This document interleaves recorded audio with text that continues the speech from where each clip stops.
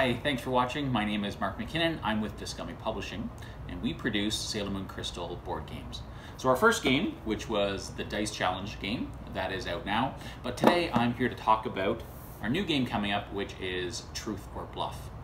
So it's a bluffing game. We're going to be passing tiles between players. It plays from three to eight players. It Takes about 45 minutes or so. It's a lot of fun. It's a great game where you're trying to determine who has what tiles that they're passing, who's lying, who's telling the truth, and you're trying to get the most number of points. So why don't we take a look and, and see what's inside there, and I'll teach you how to play.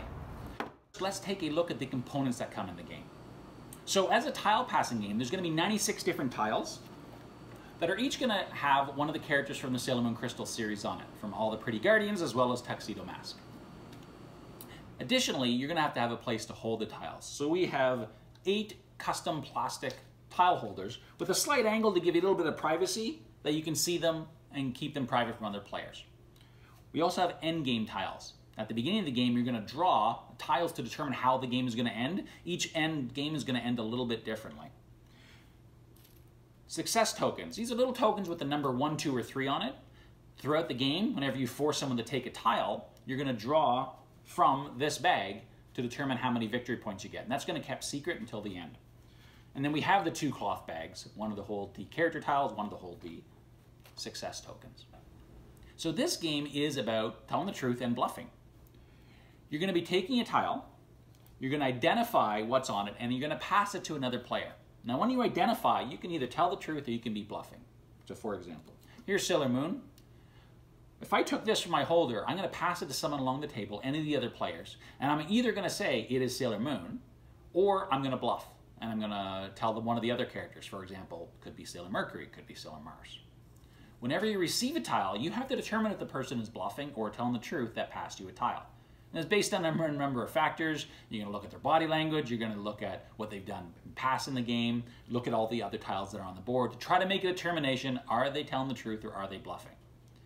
Because if you can correctly identify what they're doing, you're going to force them to take the tile. The goal of the game is not to take any tiles taking tiles is what's going to end up triggering the end game, and you're going to be out, and everyone else has a chance to win. So if I pass you Sailor Moon and I say it is Sailor Moon, you can then say truth, that you think I'm telling the truth and it is Sailor Moon, or that I'm bluffing and you think it's a different tile that I'm identifying. If you're correct, if you say, yeah, Mark's telling the truth and I actually passed you Sailor Moon, identified it as Sailor Moon, so I was telling the truth, you're forcing me to take the Sailor Moon tile and I keep it face up in front of me and that will add towards the end conditions of the game. Alternatively, if you think I'm bluffing but I was telling the truth, you have to keep the tile in front of you because I tricked you. And whoever did the tricking or whoever correctly identified it draws a success token from the game. Now, instead of identifying truth or bluff, if a tile's passed to you, you can instead take a peek at it and then pass it along to someone else at the table, giving them the same two choices, truth or bluff. So if you pass me Sailor Moon, you say, yeah, it's Sailor Moon, and I take a look at it because I wasn't sure if you're telling the truth or not. I can then pass it to someone else and say, yes, it is Sailor Moon, or I can say, no, they were bluffing, it's actually Sailor Jupiter. And that can continue around the table until every single player has received the tile. Of course, at that point, the last player, they have to de declare truth or bluff, simply because they can't pass it to anyone because everyone else knows what's on the tile. The game continues like that, going around. You're going to start with your 12 tiles, and every time you receive a tile, it's then your turn to play. You're going to look at a tile, identify it, and pass it, and the game continues around the table until the end game is triggered. So when one person runs out of tiles, the game is over, uh, and they've triggered the end of game. If they have to play and there's none left. The other ways to trigger it, depending on what's in, in going to be in front of your hand. So some of them could be if you have, for example, four copies of the same character, or if you have three sets of two or two sets of three. All the different tiles, you're going to draw it right at the beginning so everyone knows what the end game conditions are, but they're going to change game to game. And at the end, everyone else adds up the number of success tokens that they have, number of victory points, and that determines who's going to win the game.